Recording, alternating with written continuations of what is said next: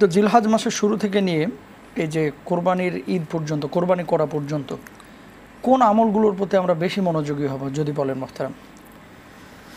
আলহামদুলিল্লাহ ওসালাত ওয়াসালাম আল্লাহ রসুলিল্লাহি ওবাদ জিলহজ মাসের শুরু থেকে দশ তারিখ পর্যন্ত মামিন আমালিন সালেহিন আহাব্ব ইলাল্লাহ মিন হাজিল আয়াম যে নবী সাল্লাহ সাল্লাম বলেছেন যে বছরের কোনো দিবস রজনীতে সৎকর্ম বা নেক আমল আল্লাহর কাছে এত বেশি প্রিয় হয় না যত বেশি প্রিয় হয় এই দশ দিন দশ রাতের আমলগুলো। অতএব সব ধরনের নেক আমল সেই নফল সালাত হোক নফল দান সাদাকা হোক নফল সিয়াম রোজা তারপরে হজ তো যারা হজে যাচ্ছেন হজে বা এবার তো অবশ্য সীমিত যেখানে তারা হজ করছেন। তো এবং বিশেষ করে কোরবানি যারা কোরবানি করতে পারবেন। তো সর্বপ্রকারের আমলেই এই দশ দিনে বছরের সবচেয়ে সেরা সেরা হলো এই দশ দিন। এমনকি রমাদানের চেয়েও এই দশ দিনের ফজিলত অনেক বেশি দিন হিসেবে দশটি দিন।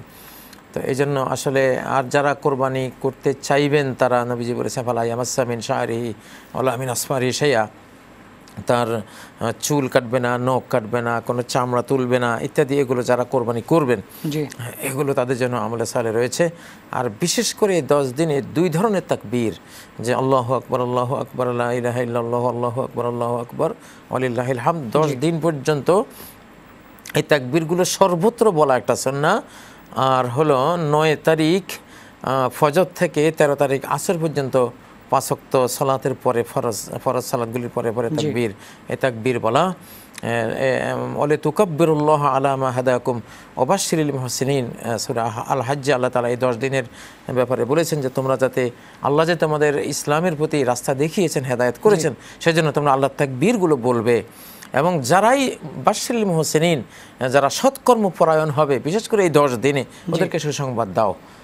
তো সব ধরনের ন্যাকামলি আসলে এই দশ দিনে আমাদের করা ধন্যবাদ মাতারাম। এই- দশ দিনের মধ্যে একটি গুরুত্বপূর্ণ রোজার কথা আল্লাহ রসুল বলেছেন যা আরাফার দিনে। আরাফার দিনে। এটা কি সৌদি আরবের হিসেবে আমরা রোজাটা রাখব না বাংলাদেশের নয় তারিখের হিসেবে যেহেতু ওই হাদিসটিতে যেটা রয়েছে যে সিয়াম ও আরাফা। জি। আরাফার দিনের সিয়াম আহতাসিব আল্লাহ নিউকাফির সানাত আল মাদিয়াতা ও সানাত আল কাবেলা যে অতীতের এক বছর আর ভবিষ্যতের এক বছর দুই বছরের সব গুণের কাফারা হয়ে যাবে।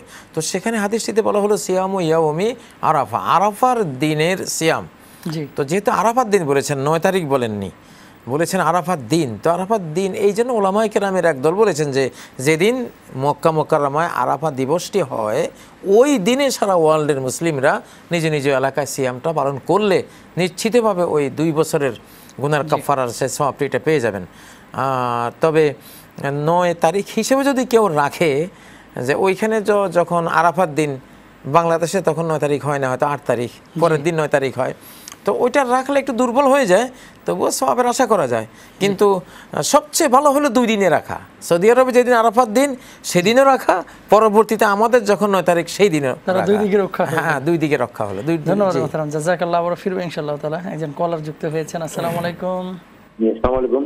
ওয়ালাইকুম আসসালাম আমার এই কোরবানি সম্পর্কে একটা প্রশ্ন সেটা হলো যে পশু জবের আগে যে আমরা ওই যে অমুকের পক্ষ থেকে নামগুলি পড়ি এই নামগুলি পড়া কি বাধ্যতামূলক কিনা বা এগুলি পড়া কি ঠিক কিনা এটা আচ্ছা আচ্ছা ঠিক আছে। আপনি আমাদের সঙ্গে থাকুন আমরা আলোচনা করব ইনশাআল্লাহ তারা শুনেছেন মাস্তারাম প্রশ্নটি? কয়েকজন মিলে তো একটা কোরবানি অনেকেই দিয়ে থাকে তো জবেহের আগে আপনার নামগুলো পড়তে দেওয়া হয় যিনি জবেহ করছেন। জি জি। তো এই নামগুলো আল্লাহ কি জানেন না? তিনি তো অন্তর্জামী। এখানে উল্লেখ করার কি আছে বা করা জরুরি কিনা? হ্যাঁ এখানে যেটা আছে হাদিসের মধ্যে যে নবী আলাইহি সাল্লাম যখন নিজের কোরবানি করেছেন সেখানে কিন্তু বলেছেন আল্লাহুম্মা তাকাব্বাল মিন মুহাম্মাদিন অমিন আলী মুহাম্মাদিন। হে আল্লাহ মুহাম্মাদের পক্ষ থেকে কবুল করুন। তো এখান থেকে বুঝে গেল যিনি কোরবানি করছেন তার নামটা সেখানে উচ্চারিত হওয়া উচিত। যে অমুক অমুক অমুকের পক্ষ থেকে আল্লাহ তাআলা আপনার নামে কোরবানি। তারা হলেন পক্ষ কিন্তু কোরবানি হবে আল্লাহর নামে। তো এই জন্য আমাদের দেশে যে ছয় সাতজন যারা কোরবানিতে শরিক থাকেন যে তাদের নামগুলো যে পড়া হয় এটা সুন্নাসম্মত। নবী সাল্লাহ আমল থেকে এটা বোঝা যায়, জি। জি, ধন্যবাদ মোহতারাম। আচ্ছা আরেকটি গুরুত্বপূর্ণ বিষয়, সেটি হচ্ছে অনেক সময় অনেক এলাকায় দেখা গেছে ঈদের নামাজ যে ইমাম সাহেব পড়াচ্ছেন অথবা মাদ্রাসার স্টুডেন্ট, তাদেরকে দিয়ে জবেহের সহযোগিতাটা নেওয়া হয় মোহতারাম। জবাই কাজে সহযোগিতা নেওয়া হয়। তো কষায়ের ক্ষেত্রে পারিশ্রমিক থাকে, তারপরে যারা আপনার অন্য অন্য কাজে সহযোগিতা করছে, গরু নিয়ে যাচ্ছে, নিয়ে আসছে তাদেরকে পারিশ্রমিক দেওয়া হয়। কিন্তু জবেহের ক্ষেত্রে কেউ যদি এই দাবি করে যে আমি এটা জবেহ করছি পারিশ্রমিক এখান থেকে নিব আর কোনো মালিক যদি এক্ষেত্রে না দেন তার কোরবানিটা প্রশ্নবিদ্ধ হবে কিনা? মানে কোনো ইমাম সাহেব দিয়া জবা- জবাই করা যায় আছে কিনা? জায়েজ তো আছেই। জি। এবং তিনি জবাইয়ের জন্য আলাদা ওই কোরবানির পশুর কোনো গোস্ত নেবেন না। আলাদা টাকা তিনি যদি দাবি করেন এটা দিতে তারা বাধ্য। আচ্ছা। এটা তিনি ফিসাবিরিলা করতে পারেন। আল্লাহর জন্য আর এমনি একটি বিনিময়ে নিয়েও তিনি করতে পারেন এটা করা যায়।